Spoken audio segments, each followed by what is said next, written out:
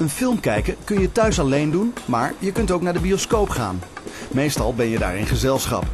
Het is dan vaak een leuke, sociale gebeurtenis die ons goede gevoelens geeft.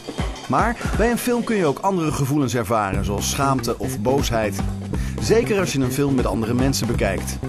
Julian Hanig doet onderzoek naar het verschil tussen alleen of in gezelschap een film kijken en de verschillende emoties die daarbij vrijkomen. What I look at in my research is the question how emotions and feelings get influenced when we watch a film together. For instance, when we watch a film, a comedy, that we find funny as a group, we might actually feel as a group. It might create a kind of bond.